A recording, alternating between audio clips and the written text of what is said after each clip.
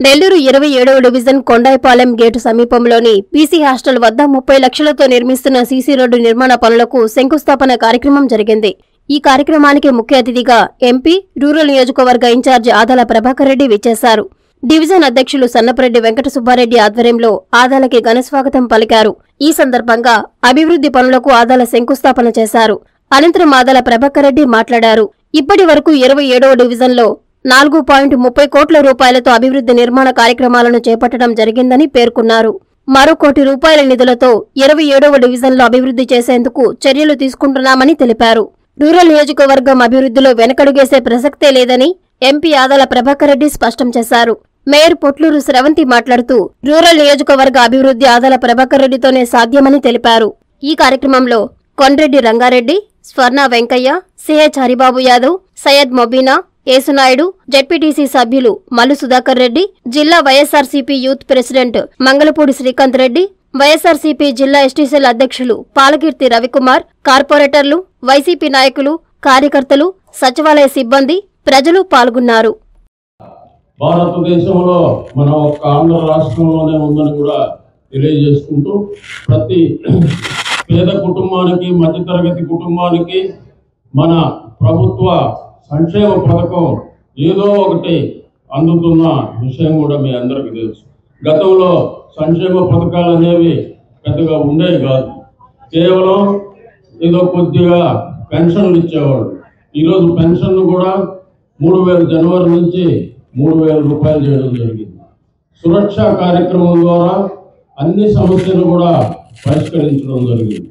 ఈరోజు ప్రత్యేకంగా ఆరోగ్య సురక్ష కార్యక్రమం ద్వారా పేదల ఆరోగ్యాన్ని వాళ్ళ ఇళ్ళకే వెళ్ళి విచారించి ప్రతి సచివాలయంలో నలుగురు డాక్టర్లను నియమించి వాళ్ళందరికీ కూడా పరీక్షలు ఉచితంగా నిర్వహించి మందులు ఇవ్వడం ఆ మందులు కూడా కంటిన్యూ చేయడం జరుగుతుందని కూడా ఈ సందర్భంగా మీరందరూ కూడా దాన్ని సక్రమంగా వినియోగించుకొని పేదలందరూ కూడా ఆరోగ్యంగా ఉండాలన్నదే మన ముఖ్యమంత్రి గారి లక్ష్యం.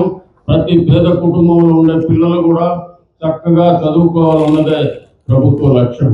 ఈరోజు మీరు చూసినట్లయితే ప్రభుత్వ పాఠశాలల్ని ఏ విధంగా తీర్చిదిద్దారు?